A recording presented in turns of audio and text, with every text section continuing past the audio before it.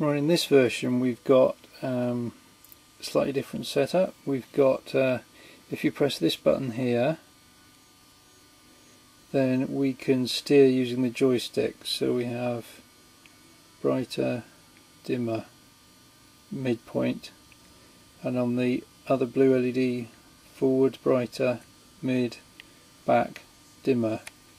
However, if we press the other button, a control pulse, we can go forwards, back on the joystick,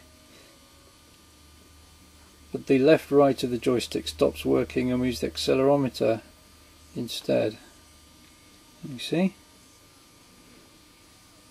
So we can make all kinds of combinations of things.